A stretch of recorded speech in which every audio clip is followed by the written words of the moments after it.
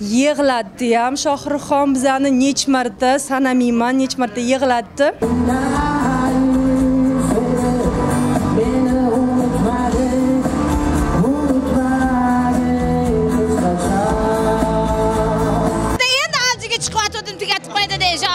Bilardiyu man hech bo'lmasa jubbasini demoqchi edim. Hemen qarasam jonli ayta olasanmi yo'qmi? Shohruxxon ashulari bu sevgi haqida va sevgi mani shu dunyoga qaytarib olib keldi allohga shukur Jonim qiynalib qolar Tanam ham sovib qolar. Ketsang tushib ketmasin nima bo'lib qolmasin. Zvuk zvukchilarga qarayman ilohim tan joninglar sog' bo'lsin. Nakladka qo'rqaman. U ota onasi bori bu baxt shohruxxon. Otasini olib tushmadi konsertga ketdi. Bugun sahnada o'g'limni ko'rib kashf qilindida shohrux bugun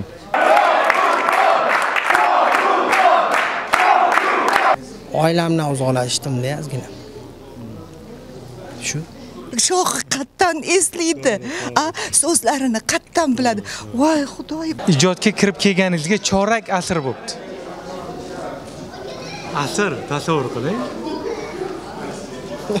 вообще man bu narsa o'ylamagan ekanman lekin haqiqatda chorak asr bo'libdi. O'zim shokdaman to'g'risi.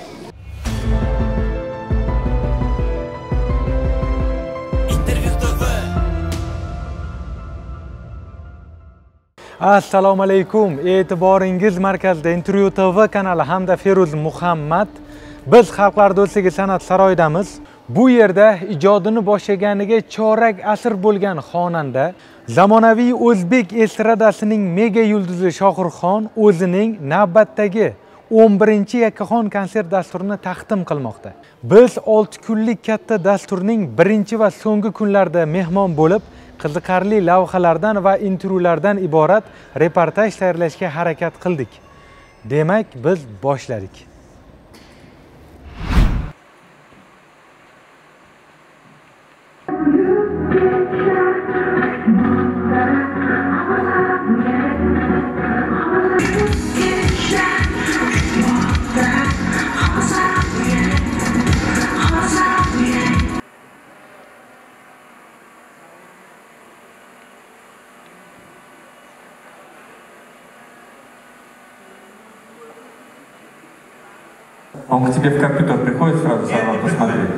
Тебя есть, мы же вчера же сде- сделали уже.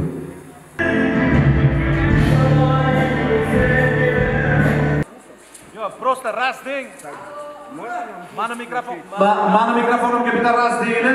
Ras. konsertda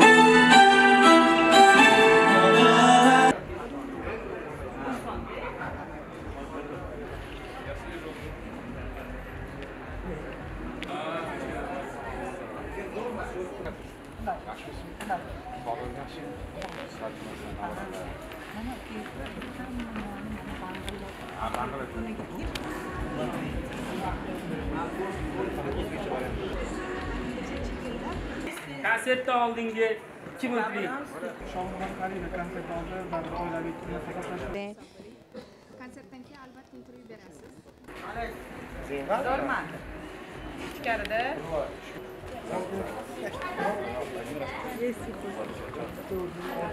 rahmat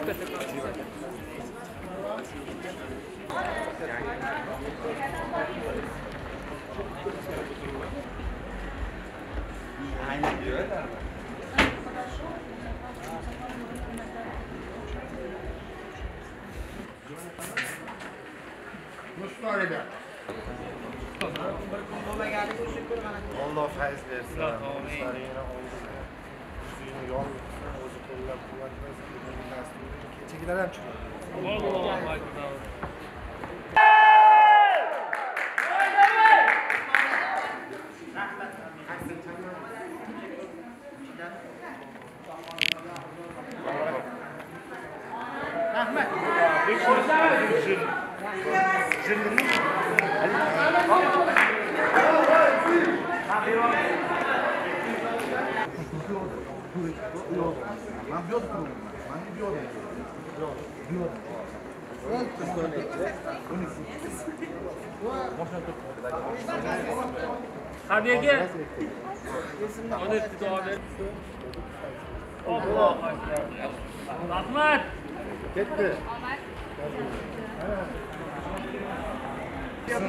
eng chiroyli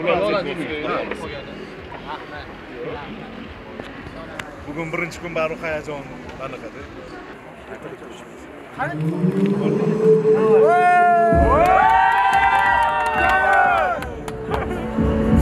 Qo'limda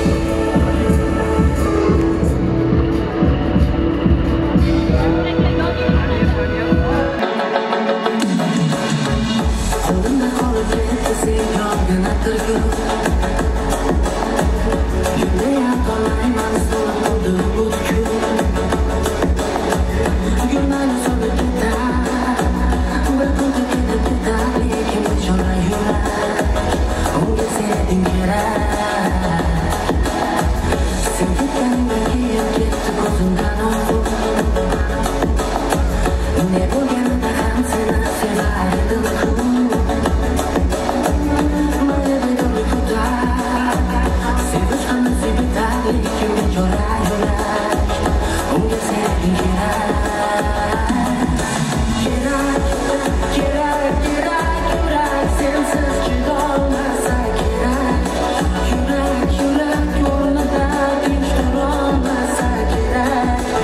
Ketdik assalomu alaykum assalomu alaykum feruz. Rahmat rahmat. Konsert oxirida endi avjiga chiqyotgandim tugatib qo'ydi deyishadi bilardiyu man hech bo'lmasa jubbasini demoqchi edim mayli ho'p konsert dasturi qanaqa bo'ldi bo'ldi har doimgidek har doimgidek shohruxxonni konsertiga kelsam o'sha o'zimni 15-18 yoshli qizdek his qilaman haligacha o'zi shunaqa aytsam-da sog' bo'lsin. Alloh rozi bo'lsin. Haqiqatdan ham maza qildik. Maza qilib o'tirdik. Yayradik. Yashnadik birga kuldik birga yig'ladik. Bugun shohruxxon mani uch marta yig'latdi to'g'ri. Qaysi qo'shiqlarda va nima uchun yig'ladingiz? To'g'risini aytsam o'sha bugun bir kichkinagina videorolik bo'ldi. Voqeali juda ta'sirli voqea bo'ldi. Ana shu ta'sirli voqeada o'zimga yana bir bora xulosa chiqardim. Aynan shu taronalari. Keyin e, har bitta taronasiga maza qildik to'g'risi. Hammasi zo'r. Ho'p e, shohruxxon ijodga kirib kelganiga 25 yil bo'libdi bu 11 yakkaxon konsert dasturi. Ho'p avvalgilardan farq nimada plyus nimada minus nimada o'zi e, necha marta konsert dasturiga tushgansiz shohruxxonni e, man e, endi bular bilan o'zi anchadan beri do'stman har doim endi do'stlar har doim iloji boricha bunaqa kunda birga bo'lish kerakda mana do'stimizni e, bugungi konserti ham o'zgacha bo'ldi. Endi yoshimiz e, nima deydi ulg'aygan sari ko'proq mehrliroq bo'lib ketar ekanmiz. Bu safargi konsert dasturida mehr va muhabbat haqida juda ham ko'p to'xtalingan ota ona haqida ko'p gapirilgan. E, shu bilan manimcha farq farqli bo'lsa kerak. Oldin endi o'zimizni davrimizda faqat sevgi o'ldim yondim kuydim o'zim tashlab yuboraman. Bir narsalar qilib yuboraman bo'lardi. Hozir bu safar faqat ibratli namunali e, konsert bo'ldi. Maza qildik sog' bo'linglar. Muxlislarim sizlarni yaxshi ko'raman.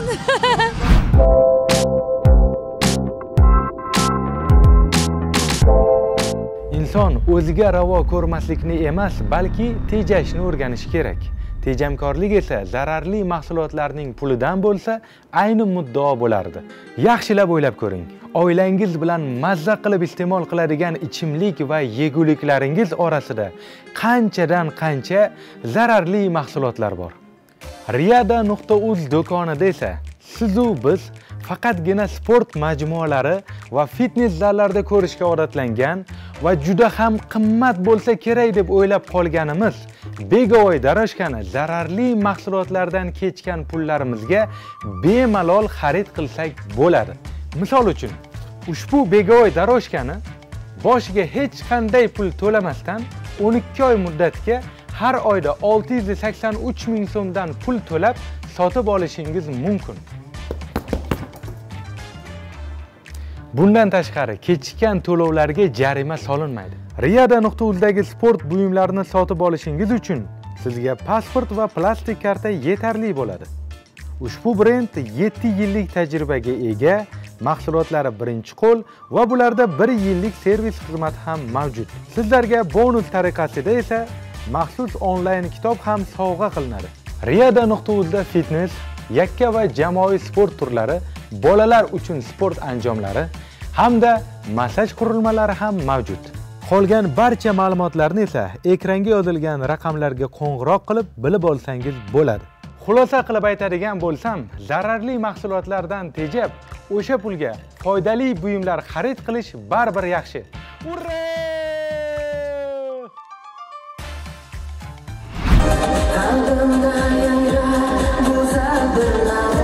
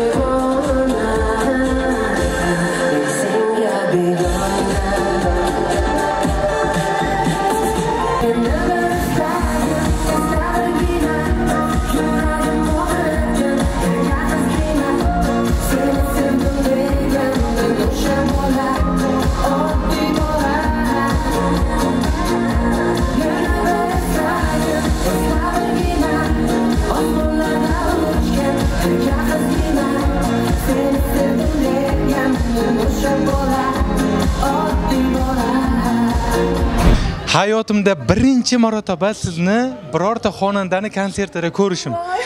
Balkim bu tasodifdir endi ko'rmay qolgan bo'lishi mumkin lekin birinchi marotaba sizni konsertda ko'rishim fikrlaringiz juda ham muhim shu uchun menga. Buni buni man e, xonandalarga gapirmoqchiman.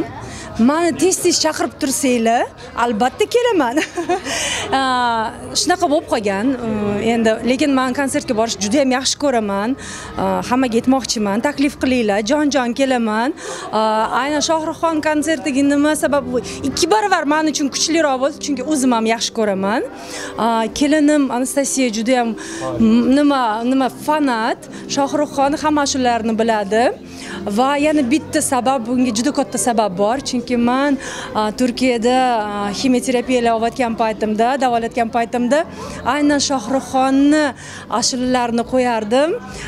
Va xo'jayinim bilan aynan instagramga ham yozdirganman. O shohruxxonni sevgi haqida ashulasiga raqsga tushganman ah, lecheniya olayotgan paytimda. Va shu aytmoqchimanki shohruxxon ashulari bu sevgi haqida va sevgi mani shu dunyoga qaytarib olib keldi allohga shukur va rahmat va albatta shohruxxonga oilasiga faqat sog'lik tinchlik xotirjamlik tilab qolaman va ijodlarini hech qachon to'xtatmasinlar Xo'p, e, to'g'risi sizni ko'rib turganimdan avvalo xursandman. Joningiz omon bo'lsin, umringiz uzun bo'lsin. Sizni ham, oila oilangizni ham juda hurmat qilaman. Xo'p, konsert dasturi qanaqa bo'ldi? Konsert dasturiga baho bering. Alloh darajada bo'ldi Ma- manimcha ko'rdingiz raqsga ham tushdik o'tirgan joyimizda ham qimillab turdik usiz bo'lmadi yig'latdi ham shohruxxon bizani nech marta sanamayman nech marta yig'latdi e, lekin e, mini bir qisqa qisqa metrajli film ham juda ham yaxshi bir sotsialniy rolikka o'xshab olindi juda ham tarbiyali va shu ano bilasizmi rostdan ham sevgi haqida o'ylab qolar ekansiz endi man har doim bular haqida o'ylayman man o'ylaymanki tomoshabinlar uchun bu juda ham bir katta ano tarbiya bo'ldi rahmat Samimiyat uchun, samimiy fikrlar uchun kattakon rahmat. Rahmat. Gaplari. Ruscha gapiradi Я только на русском, да, разговариваю. Вот, я просто очень рада, что я попала наконец-то на его концерт. Я его обожаю, это прекрасный человек, как душевно, так и внутренне, внешне. Спасибо. Да. В общем, все Ма- было классно. man ruscha Да. gapirmayman lekin ruschani tushunaman да. Лекин песни я все знаю. yoqdan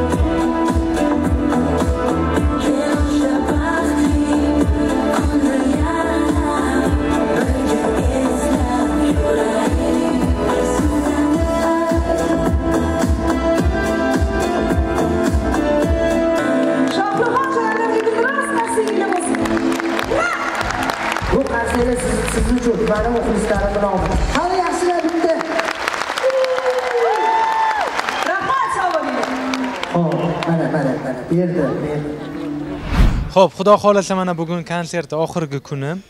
6 kunlikning taassurotlari haqida bemalol xulosa qilsangiz bo'ladi. albatta bu xulosa bu fikrlar bu energiya til bilan yetkazib berish juda yam qiyin konsert mm, judayam juda a'lo darajada bo'ldi oldingi yil ham zo'r bo'lgan edi bu yil haqiqiy kosmический konsert bo'ldi ayniqsa bilasizmi mana shu olingan kino menga juda yam yoqdi. Man kecha birinchi marta o'tirib tomosha qildim. Baribir sahnani orqasida boshqacha his tuyg'u zaldagi his tuyg'u ju- juda yam boshqacha bo'lar ekan. Hattoki yig'ladim ham. Ya'ni Nima yig'latdi? mehribonlik e, uyi bolalarga o'sha pulni olib olib berishadi. Mana shu sahna mani yuraklarimni juda yam yig'latdi. Maza qildim. O'tgan yil ham aynan ushbu qo'shiq duet e, tarzda kuylangan edi. Bu yil o'tgan yilgi konsertdan butunlay boshqacha bo'lyapti konsert dasturi, lekin aynan o'sha duetga e, yana murojaat qilingani sababi nima bo'ldi? sababi muxlislarni talabi. E, So'rovnoma o'tkazilgan edi. Juda yam ko'plab ovozlar bilan bizni duetimiz tasdiqlandi. Ho'p e, yana nima kutilmagan jihatlar bo'ldi? Yana sizni mana 10 yillardan keyin e, Shohruxxonni 2024-yilgi konsert dasturi qanaqa bo'ldi deganda yana nimalar esingizda bo'ladi? E, oxirgi uchinchi blok jonli ijroda. Hamma qo'shiqlar.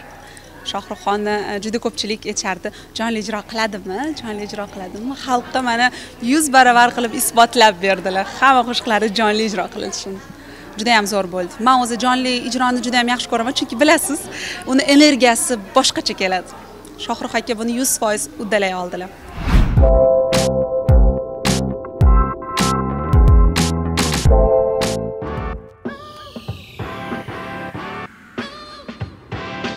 Alo. Ha ha, assalomu alaykum. Ha, kompyuter sotib olgani keluvdim Qayerdan? Albatta APGdan. Nimaga APG? Ha. Hozir tushuntirib beraman. Birinchidan, do'kon assortimenti to'liqligidan tashqari, bu yerda noodatiy mahsulotlarni ham uchratishingiz mumkin. Do'kon juda chiroyli va keng.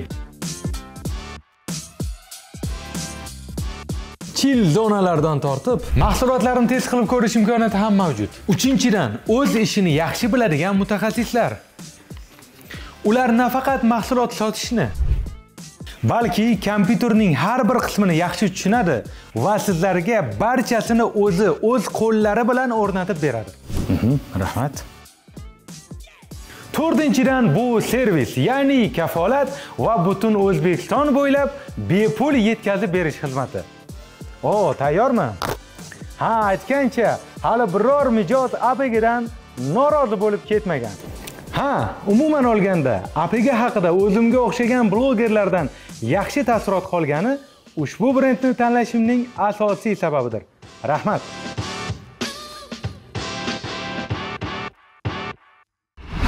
bugungi konsertimiz boshidan man sevgi e, muhabbat izhor qilmoqchiman chunki bugungi konsertimiz aynan muhabbat haqida bo'lganligi uchun nima deydi shuncha mehnatlaringiz shuncha harakatlaringiz zoyi ketmadi. Zoyi ketmadi. Man eslayman kechalari uxlamagansiz. Man o'z ko'zim bilan ko'rganman o'zingiz yemagansiz kiymagansiz.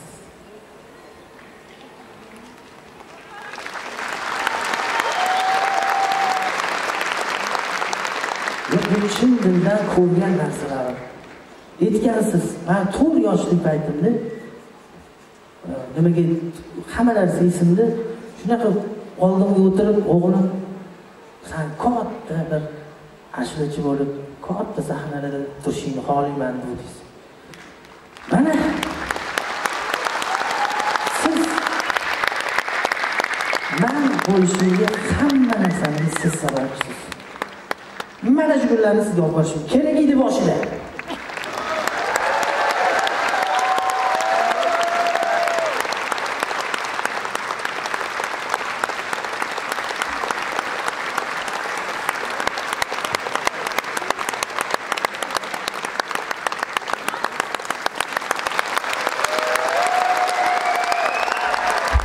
konsert dasturi qanaqa bo'ldi? Fikrlar nima? Oxirgi xulosalar nimadan iborat? Oxirgi xulosani aytaymi? Oxirgi xulosam zo'r. Man o'zi e, shohruxxonni yaxshi ko'raman. Yaxshi ko'rish qanaqa ma'noda? Tan noto'g'ri tushunmanglar E, san'atini o'zini ham. Man qayerdan ham muxlisman shu yigitni. Qo'shiqlariga maza qilaman. Maza qilib eshitaman. Yaxshi yigit. O'zi ham yaxshi yigit. San'ati ham yaxshi odobi ham yaxshi. Shuning uchun konsertni ham juda chiroyli qilibdi. Bu gal bir o'zgacha o'zi gaplashib xalq bilan muloqot qilib xuddi anaqa bukchayib olib anaqalardan yurib o'zini stilida bo'lgan lekin kino ham qilib qo'yishibdi. Qisqa metrajli film qilishgan ma'noli e, tepadan tushib pulga hech narsani sotib ololmaydi baxt sotib ololmaydi. Bu hammasi xudodan. U ota onasi bori bu baxt. Shohruxxon otasini olib tushmari konsert ketdi. Chiroyli go'zal ayoli bor farzandlari bor bu baxt. Olloh unga san'at bergan bu baxt. Birovdan kam joyi yo'q bu baxt. Shuning uchun bu baxt hech qachon pulga sotib olib bo'lmaydi. Agar sotib olib bo'lganda stiv jobs bilasizlar kimligini? iphone o'ylab topgan odam. 57 milliard dollari bo'lgan bu odam. 57 milliard dollari. Sotuvchi sotib sotib yuborardi. Davlat ham sotib olish qurib yetadi. Sog'lig'ini sotib ololmadi. Olloh buyurmasa qiyin deydiyu. Shuning uchun bu baxt hech narsa sotib bo'lmaydi sog'liqni baxt sotib olish qiyin. Bu xudodan. Sog'liq ham xudodan so'rasa beradi baxt ham xudodan so'rasa beradi. Shuning uchun shu stiv jobs ham 57 milliard dollar bo'lib turib 100 dollar ham o'sha sog'lig'iga foyda bermadi. Qolib ketdi. Shuning uchun hammasi xudodan ollohdan shuning uchun bu yigit xudo suygan yigit olloh suygan yigit. San'ati ham o'zi ham odobi ham o'zini tutishi ham juda chiroyli. Ko'z tegmasin konserti juda chir- chiroyli bo'ldi. Shaxsan maza qildi. Ayniqsa otasini olib tushganini ko'rib maza qildi. Baraka topsin. Boshqa gapim yo'q. Shohruxxon omading bersin uka. Sog' bo'lgin. Zo'r. Shohruxxon ijodga kirib kelganiga 25 yil bo'libdi chorak asr kichkina paytda kirib kelgan u paytda o'sha yigirma yigirma besh yil oldin. Ikki ming bir ikki ming ikkinchi yilidami shu uchi uchinchi yilida. o'sha o'tib paytda biz ham yosh edik misol uchun. Man misol uchun o'sha paytda o'ttiz bir yoshda edim. Mana u ham bir yigirma o'n sakkiz yoshida kirib kelgan manimcha adashmasam mana haligacha chiroyli yuribdi. Bu hammaga ham nasib etavermaydi to'g'rimi xudodan so'rab yurishimiz kerak. Olloh nazardan qo'ymasin eng kerakli avvalo olloh nazardan qolmaylik elni nazardan qolmaylik ota onasini duosini olaversin ota onani duosini olgan hech qachon kam bo'lmaydi ijoddan to'xtamasin man hurmat qilaman sog' bo'lsin konsert ham zo'r bo'lsin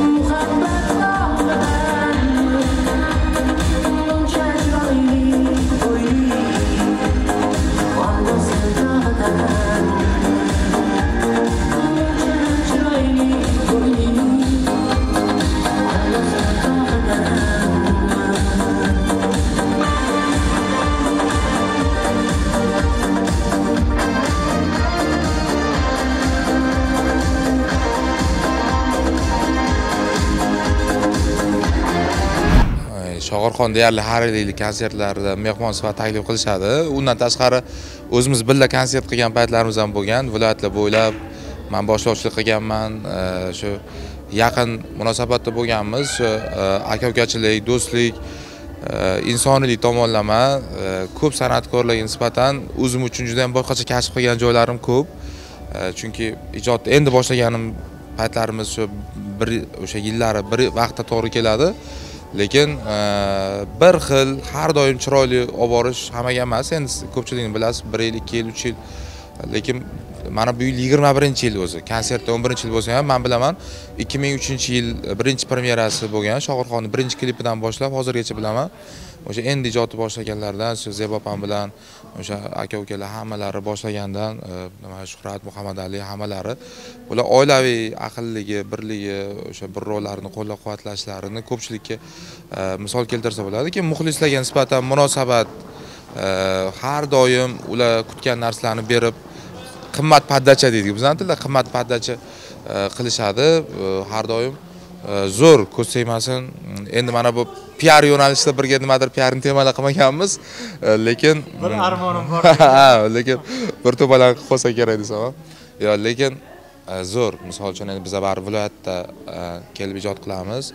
E, baribir bilasiz mana E, toshkentlik san'atkorlar bilan viloyatlik san'atkorlar o'rtasida какой то e, bir masofa bo'ladi ba'zi bir qismlari bilan lekin shohruxxonda e, shu narsa yaxshiki o'sha har bitta ijodkor aytadiku man u yo'nalishni eshitmayman man unaqa san'atkorlar bizani nima emas deydiyu lekin o'sha o'sha chekka chekka qishloqlarda biza man kutmaganman to'ylarda borganda aka man siz ashularingizni eshitganman aka siz mana bunaqa narsa qiling deb fikrlarini berib ketganda bir shoirlar bastakorlarga o'xshab rejissyorlarga o'xshab o'shanda aytganman aka o'sha hammani o'zi uchun analiz qilib kuzatib borib keyin o'sha bundan manman bo'lib "Ya, aka bunaqa san'atkorlarni eshitmayman degan narsasi yo'q ekan deganmanda.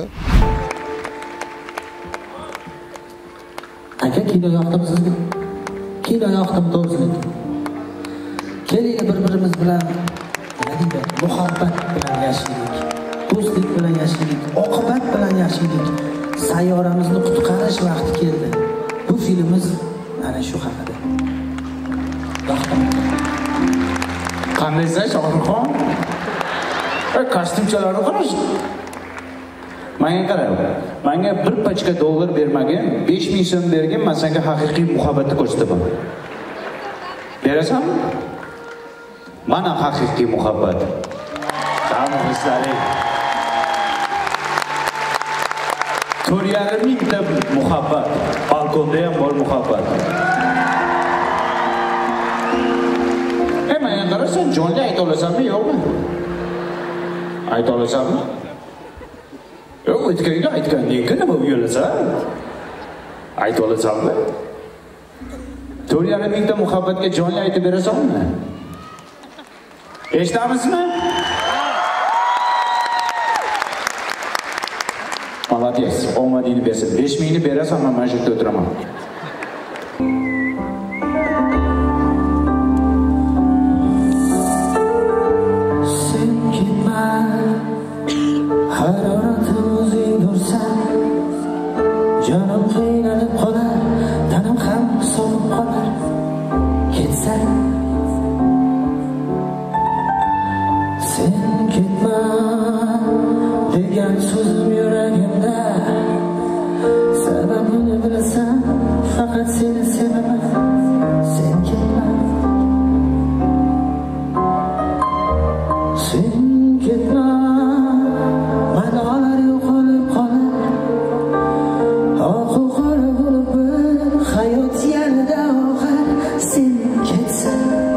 konsert dahshat bo'ldi rostdan. Jamoamiz bilan maza qilib tomosha qildik.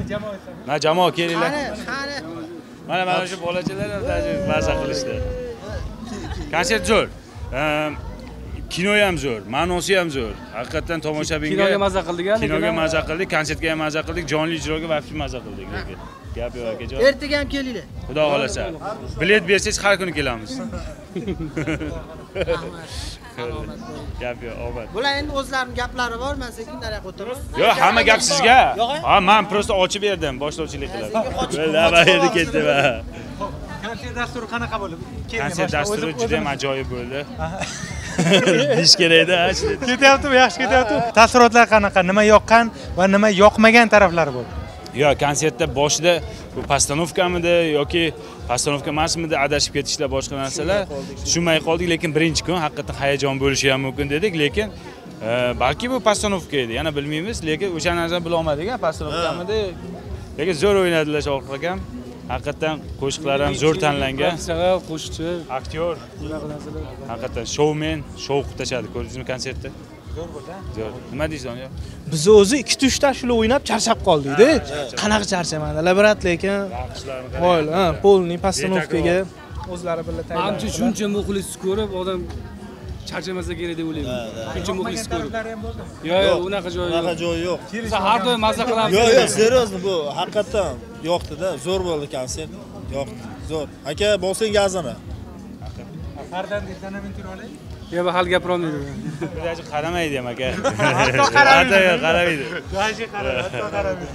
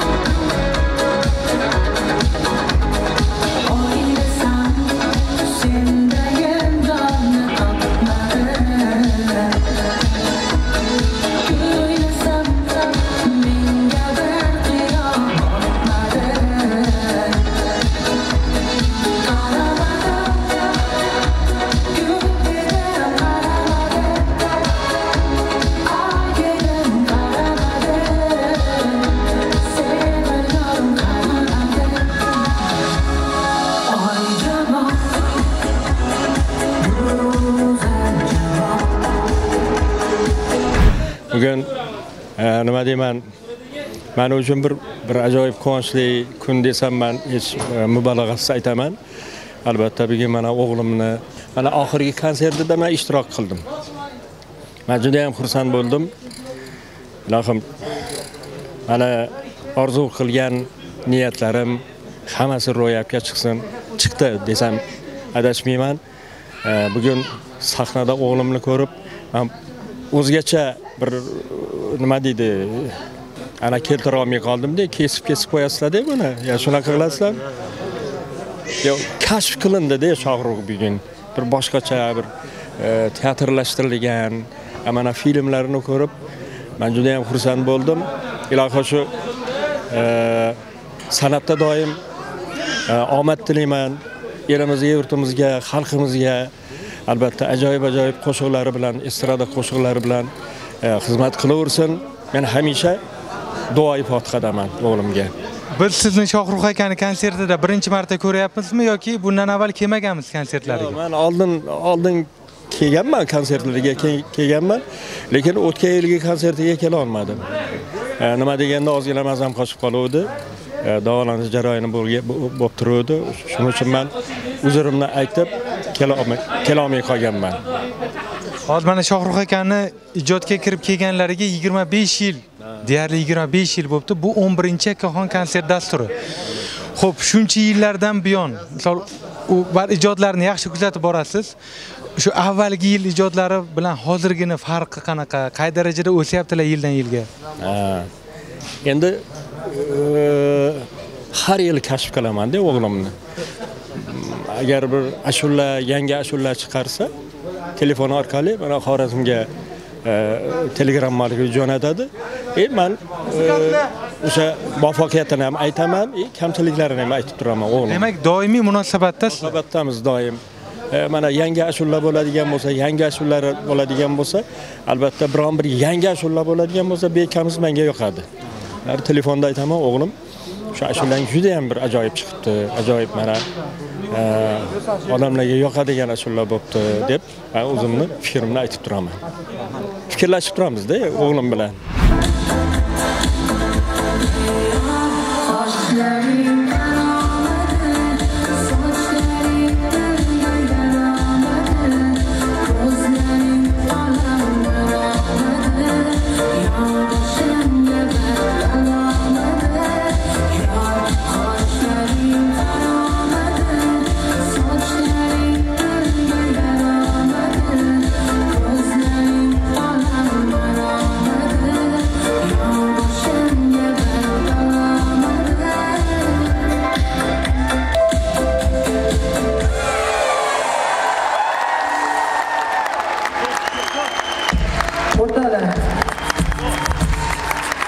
Kattakon rahmat chiroyli zombilarimizga kattakon rahmat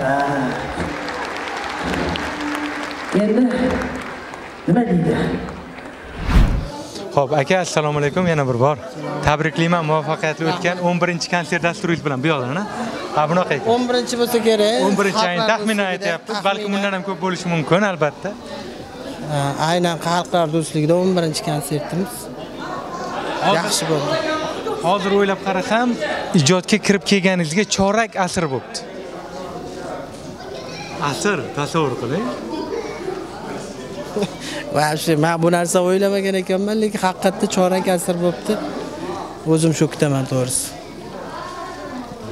Va eng muhimi shuncha yil reytingda eng zo'ri bo'lib turish bu hammaga ham emas, juda katta mehnat. Mana bugungi konsert dasturi ham juda zo'r o'tdi. O'zingizni taassurotlaringiz qanaqa? Nimalar demoqchi edingiz-u, qay darajada ayta oldingiz? Qay qay darajada o'zingiz o'ylagan o'sha ushbu konsert dasturida plankaga yeta oldingiz? Hali yana ishlashim kerak, shuni bildim. Hali men aytmoqchi bo'lgan narsalar juda ham ko'p. Men aytmoqchi bo'lgan qo'shiqlar, mavzular juda ko'p. Hali men eng yaxshi ko'rgan qo'shiqni yarata olmadim. Hali aytadigan gaplarim ko'p. Hali muhabbat haqida ko'p gaplashamiz. Keyingi konsertlarimizda yana ham yana ham chiroyliroq qilib yana ham go'zallashtiramiz. To'g'risi til ojiz hozir nima deyishni bilmayapman, chunki 6 kun shunaqa tez o'tib ketdi. Undan oldin 2 oy har kuni to'xtovsiz repetitsiyalar. Hozir hammasi tugab qolgandan keyin odam ertaga endi zerikib qolamanmi deb o'yladim. Ertaga konsertimiz Samarqandda ekan. Samarqandda konsertimiz. Hozir yo'lga chiqamiz.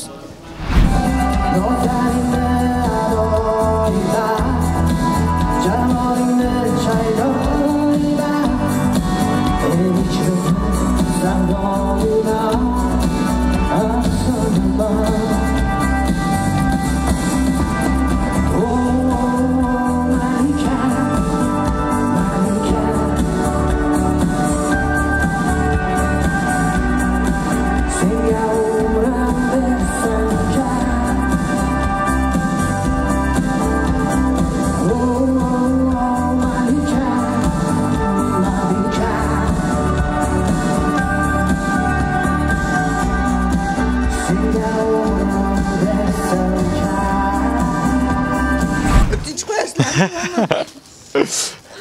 Bormi? 6 kun ham hech narsa yeganim yo'q. Ya rahmat sizga. O'sha e, hali ham gaplashdik-ku. Hamma o'tirdi, hamma dam oldi, hamma maza qildi, faqat men Shohruxxonni har bitta qadamini sanadim. Har bitta o'sha o'tirsa o'tirdim, tursa turdim. O'sha u bilan ruhan, qalban birga bo'ldim. Sahnaga chiqmadim xolos dedingiz-da. Ha. Tog' tushdi bo'ynimdan bugun. Ishonasanmi?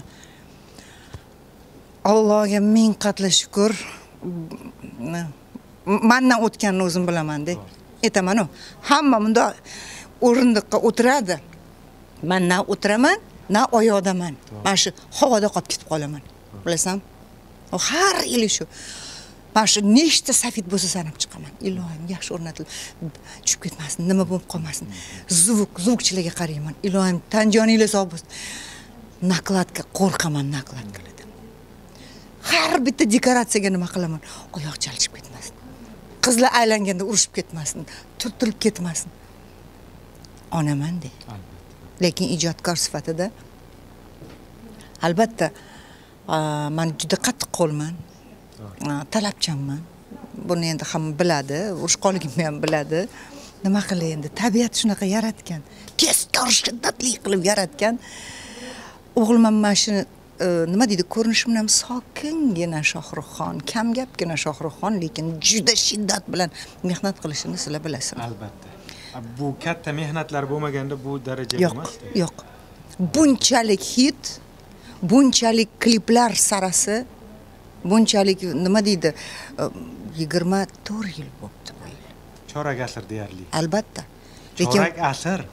qarangda, bugun sahnadan qarab turib aytdim mana shular ikkalasi teng yosh dedim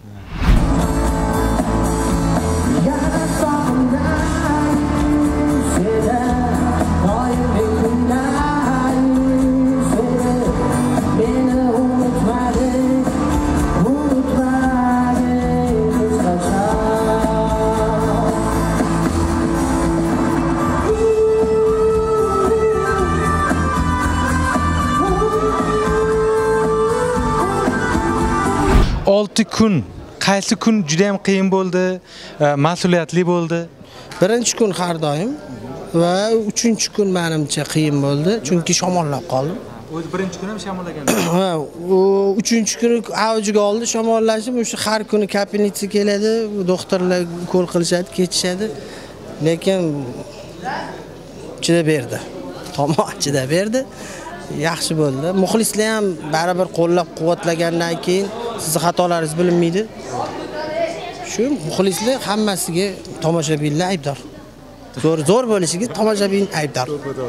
Ho'p o'n birta konsertdan eng qiyini qaysi bo'lgan? Eng birinchisi. Eng birinchisi.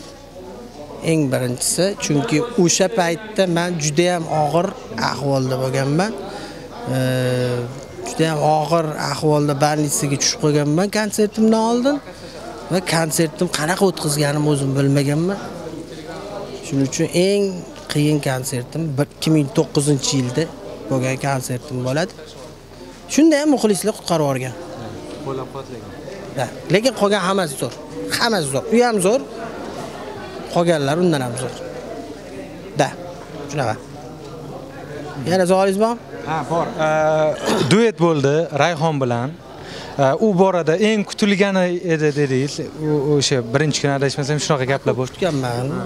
Rayhon bilan duet etishi. Biz endi boshlayotgan paytlarimiz rayhon zuyizda bo'lganlar yulduz bo'lganlar biz orzu qilganmiz. Rasmga tushishga orzu qilganmiz ular bilan. Rostdan shunaqa bo'lgan ha rasmga tushishga orzu qilardim misol uchun endi. Конечно siz tushmaysizmi yo'q yo'q yo'q misol uchun yulduz bilan turib bundoq qarasangiz tushgingiz keladi. Ham hurmat qilasiz ham yaxshi ko'rasiz hamma xalq yaxshi ko'radi. Shu shunaqa bo'lgan. Birinchi hatto tanishgan paytimda do'diragan paytlarim bo'lgan.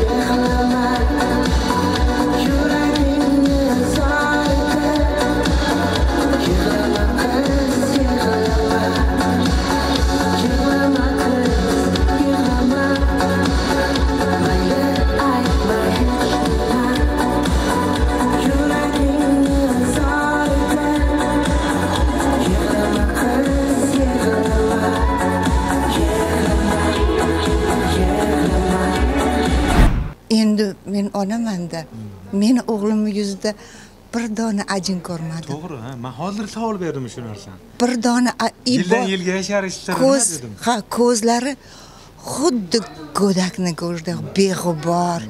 Yo'qolmagan qorachig'ini qaragin uni ichini ko'zini ichini ko'rgin. Man cho'kib ketaman har doim. Ollohim bir bergan bir ne'mat bu. Iloyim e, man onaman xuddi boshqa onalar ham hammasiga bugun aytdimu shohruxxon bir marta aytganda shu shu g'alati bo'laman sizga gul berganda. Qaniydi ulgursamda deydi. Qo'lim ikkitada xolos deydi. Hammalarga berib chiqsam deydi. Shu kelgan onalar ayniqsa yoshi katta onalarni ko'rsachi ko- ko'zi yoshlanib qoladi o'g'lim. Juda ha. Juda boshqachada o'shaning uchun bugun aytib oldim xudoga shukur. Barcha onalarga atalgan chunki barcha onalar yaxshi ko'radi. Va yildan yilga konsertlarimiz albatta nima deydi har doim maqtamayman to'g'risi. Zo'r bo'ldi lekin bundan zo'ri ham bo'lgan. Xudo xohlasa albatta. Bo'ladi. Avvalda bo'lgan lekin bu bo'ladi dedingiz. Lekin bo'lgan ham. Albatta albatta. Tushundingizmi? Nimalar demoqchi bo'lganimni har bitta konsertda o'zini plyuslari yengilliklari improvizatsiyalarga juda boy. Ko'rdingiz har bitta tomoshabin bilan muloqot boylanib ketyapti. Yoki mana kecha lola keldida dabdurustdan mana keldi. to'satdan keldi mehmon bo'lib o'tiribdi. Birinchi e, nima chiqdi? Birinchi duet chiqdi qizimiz undan keyin rayhon chiqdi. Ketma ket chiqqandan keyin anchadan buyon sahnaga chiqmagan.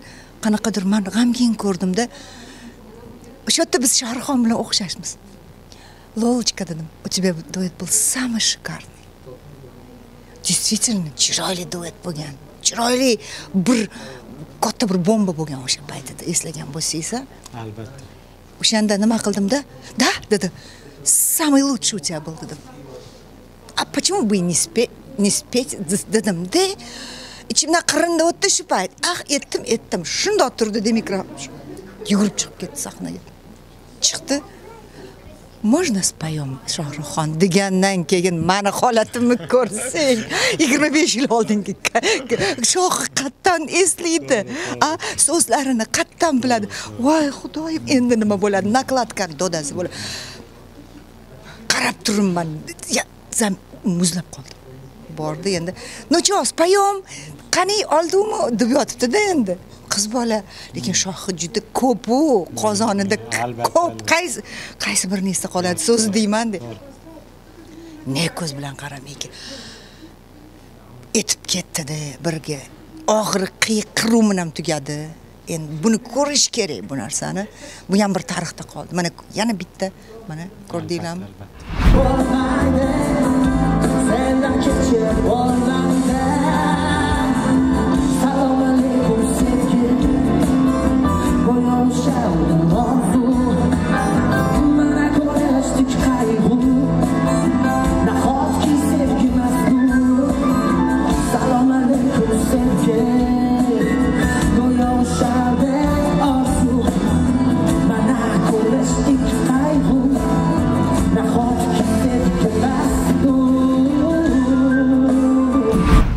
konsertga haqiqatdan ham chin ko'ngildan tayyorgarlik ko'rilganligi har bitta epizod har bir lavhada filmda hamma hammasida bilindi.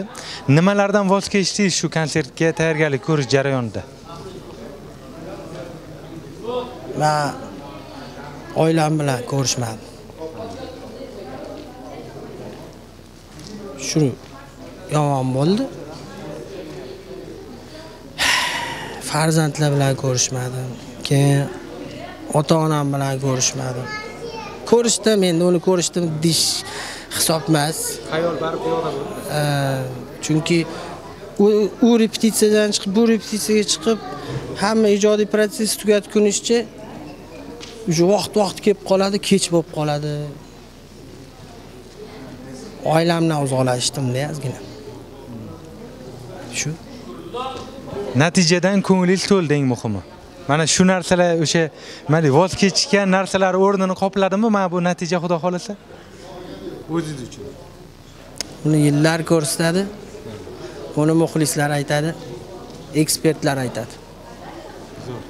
Xo'p, imijingiz bu safargi kiyinishingiz e, kutilmagan bo'ldi, to'g'risi. Umuman kutilmagan bo'ldi.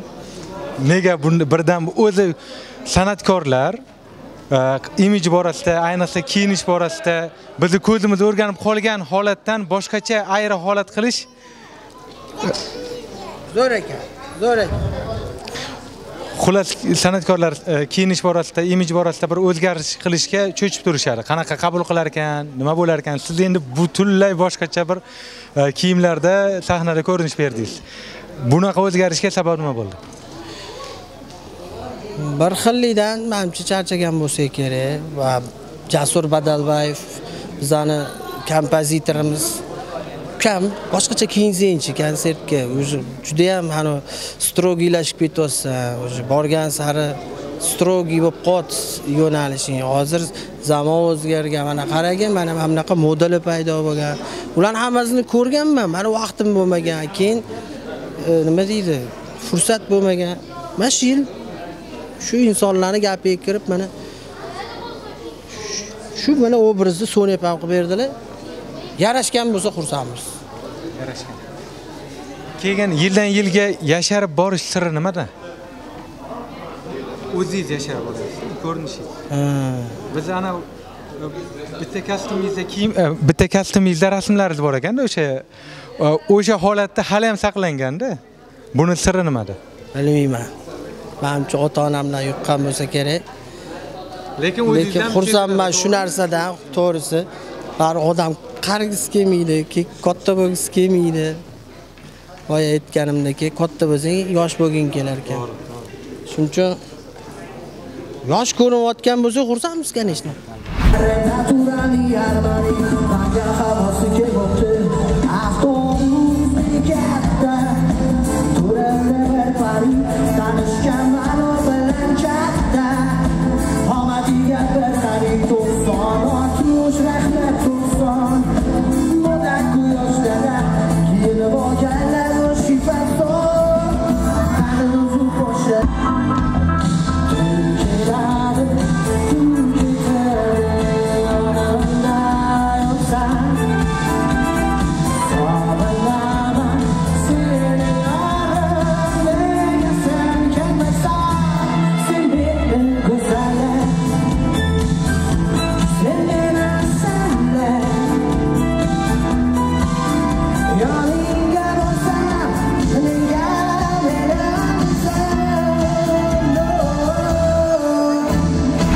biz faqat konsert dasturini faqat zo'r qismini ko'ramiz ya'niki sahnani ko'ramiz.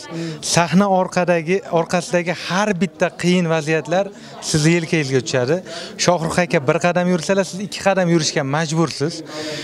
Hali ham aytuvdim bir instagramda ko'zingiz tushdimi yo'qmi? Sizdek prodyuseri bo'lishini judayam o'zbek manimcha zamonaviy o'zbek estradasidagi shou biznesimizdagi har bitta xonanda havas qilsa kerak orzu qilsa kerak. Ho'p nima qiyinchiliklari bo'ldi? Yangi dasturni. Qiyinchilik e, qiyinchilik bo'lmadi. Bu hammasi yig'ilib turib bitta kuch beradigan narsada buni qiyinchilik deb bo'lmaydi. Chunki e, ketidan rohati bor ketidan yaxshi manfaati bor yaxshiligi bor narsani va man qiynalyapman deb bo'lmaydi. U qiyinchilik emasda bu faqat xursandchilik и bu yaxshi biza- bizga e, zo'r kuch beradi.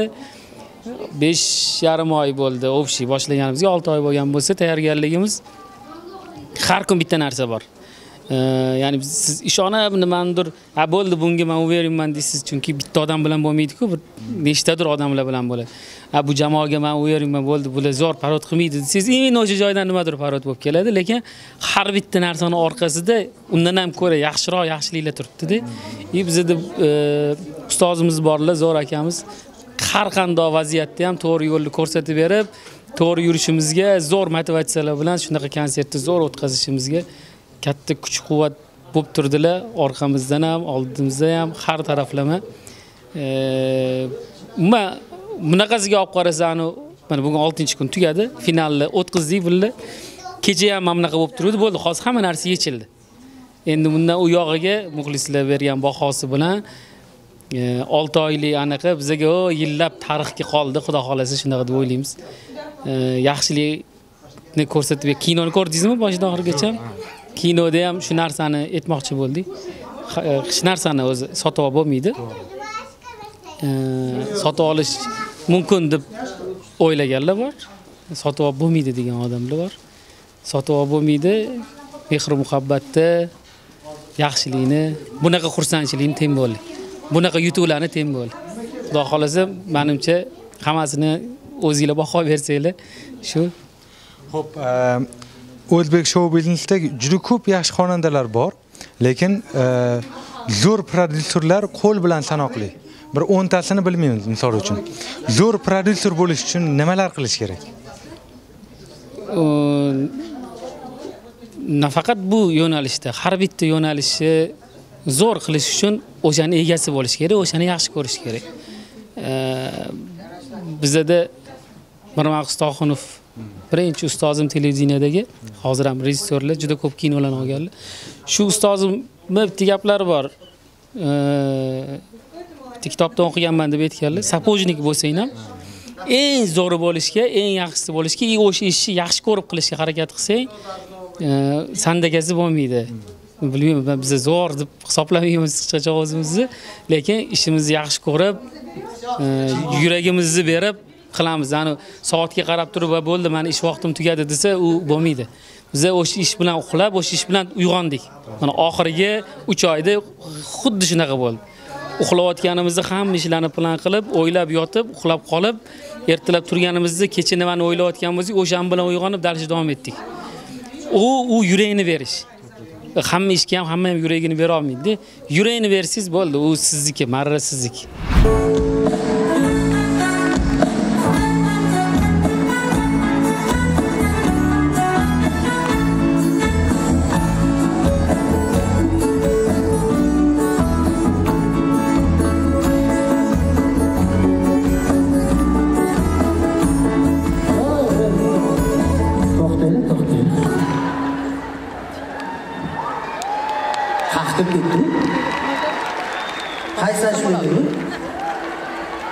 lazgi-ku bu man lazgiga aytmaganmi o'zim Hurmatli ashula hurmatli shohruxxon biz repetitsiya davrida sizni sozandalaringiz bilan va musiqiy rahbar jasur badalboyev bilan maslahatlashgan ravishda muxlislaringiz uchun bir jonli ijroda milliy navoni ham kuylab berishingizni juda istadik. Voy rahmat. Rahmat. Baraka toping. Muxlislar so'rayapti muxlislar so'rashyapti.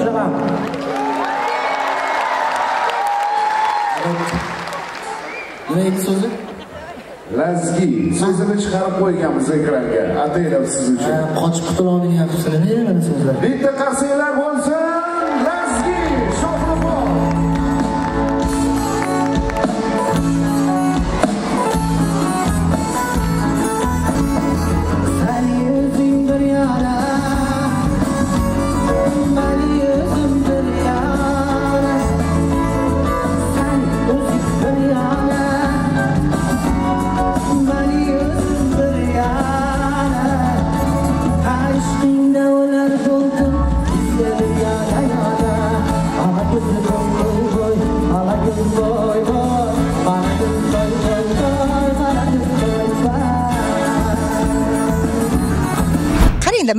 yaxshi improvizatsiya.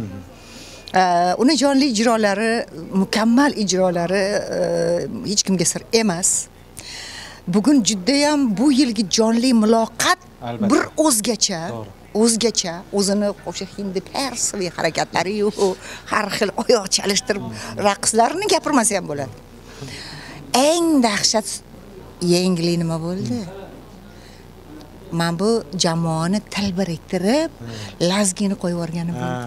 O'zlari ham kutmagan kutmagan holatda mana birinchi kuni qilib olib ketildi telefon berildi telefondan. To'g'ri. Bu ham bir imtihon ham xalq oldida katta bir imtihon bo'lsa yana uni professionalligi to'g'ri stilistika boshqa butunlay boshqa. man ham boshida o'sha yerda ham cho'chidim. O'sha yerda ham cho'chidim eh dedim. Lekin mayli mardu maydon mardu maydon. Eplasang eplading eplamasang nima qilasan? Давай o'sha yerda так что bu yerda onalik anaqasi. Hech qanaqa nima deydi taalluqli emas. Onani bunday chetga surib qo'yamiz. Professionallik darajasida e, nima deydi man o'z bahomni to'g'ri berishim kerak to'g'risi intervyu tugab bo'lgan edi lekin qaytdik qaytdik chunki e, zebo opani imijlari o'zgargan. Sababini bilgan edik juda ham bir qiziq sabab aytib qoldilar. Nimani aytishim kerak? Ha ha. Sh- a, har kuni shlyapadami Um, iltimos mani kechiringlar. Chunkichi vaqtim yo'q sochimni yuvib har kuni chiroyli prichoska qilishga. O'shaning uchun haligi shundoq bostiraman chunki hammadan oldin kelishim kerak hammadan keyin ketishim kerak. mana shuni ostonada bo'lishim kerak. Boshqa hech narsa ko'zimga ko'rinmaydi. O'shaning uchun shundoq qo'ndiraman shlyapani hech kim ko'rmaydi. Choch qanaqa nima? Zo'r farqimda emas. Rahmat katta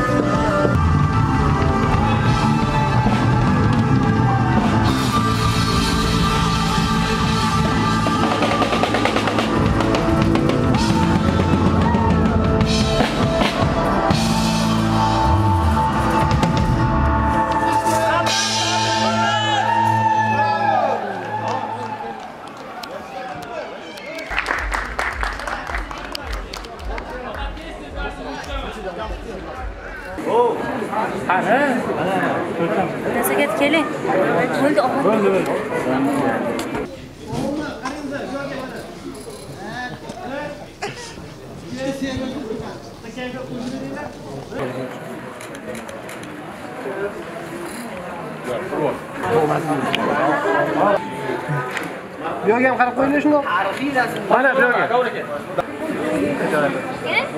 bu улыбайтесь. Вы лучше. Shu vaqtgacha 11 ta aynan Xalqlar do'stligi san'at saroyida yakkaxon konsert dasturi o'tkazgan ekansizlar.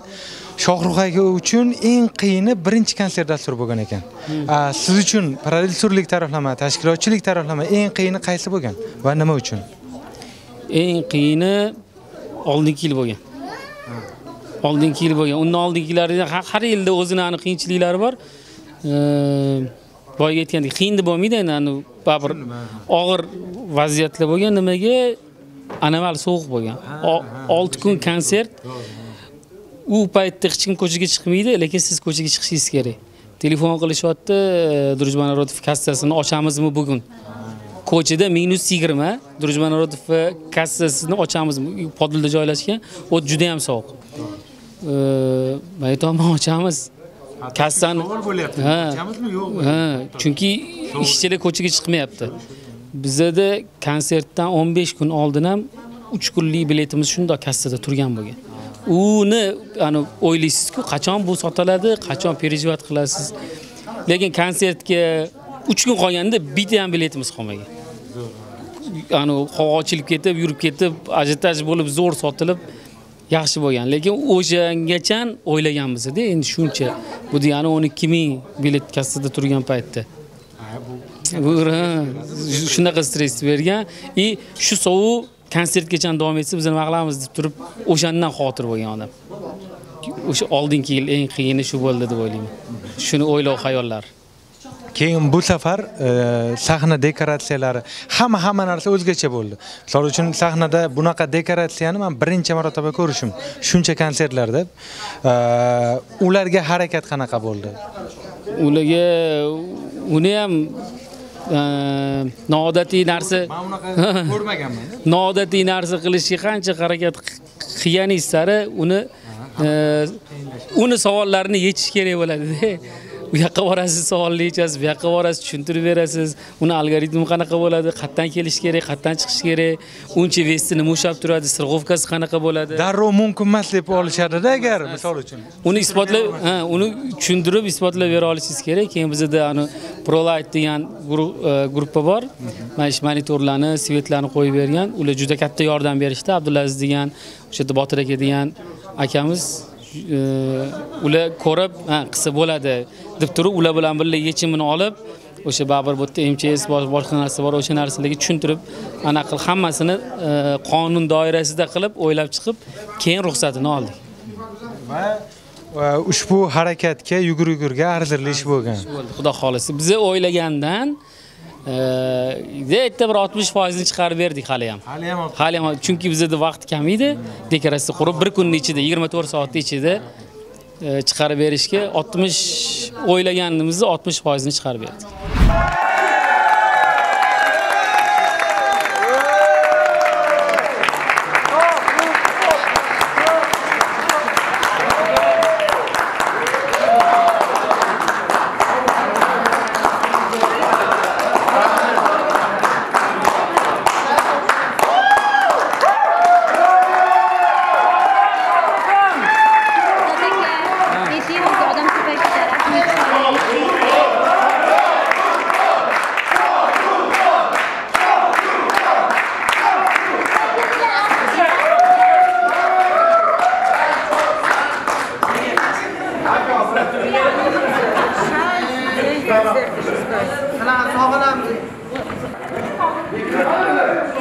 endi madiga madi ol o'rtaga millionta oldim lekin bitta video zo'rlaymiz bir ikki uch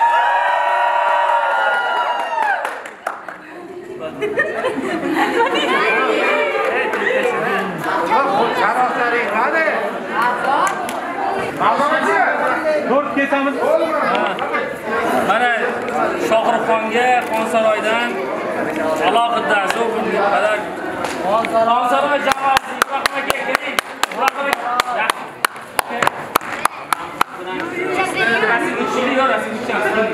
Bugungi konsertimiz asosiy bizani o'sha bir bir haftalik konsertimizga yarim yildan beri ko'maklik qilayotgan xonsaroy jamoalaridan ibrohim akam singlimiz mahsuma bizani konsertimizni eng katta sababchilaridan xonsaroy kompaniyasida mana shunday ajoyib qizlar kelinglar qizlar.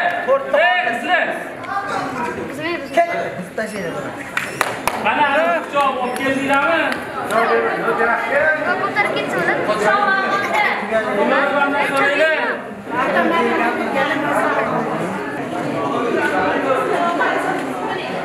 so'raylar.